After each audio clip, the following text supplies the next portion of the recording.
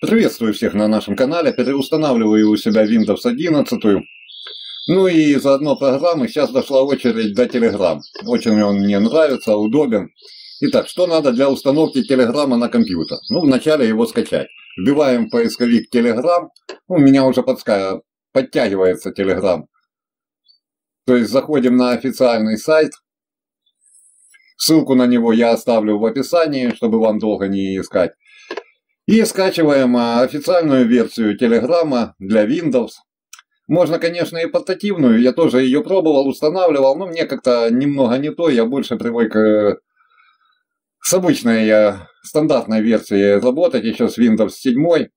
А вот, значит, так, я скачивать не буду, он у меня уже скачан, вот он. И, кстати, что на Windows 8, что на Windows 10, ну и, само собой, на 11 Windows, одни и те же проблемы с установкой. То есть для начала мы его запускаем, выбираем язык установки, русский по умолчанию, жмем ОК.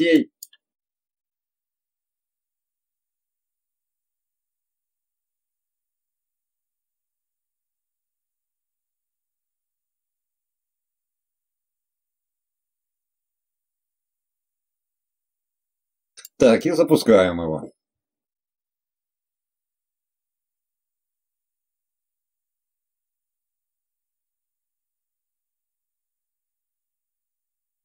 Так, а вот здесь все и начинается. Устанавливаться он не хочет. Так, жмем. Дальше на сеттинг. Здесь, где английский, тоже нажимаем, но не ждем. Заходим сразу во вторые настройки. Как видим, по умолчанию стоит точка в третьей позиции. А нам надо, чтобы стояла она во второй и в первой. Все, подтверждаем.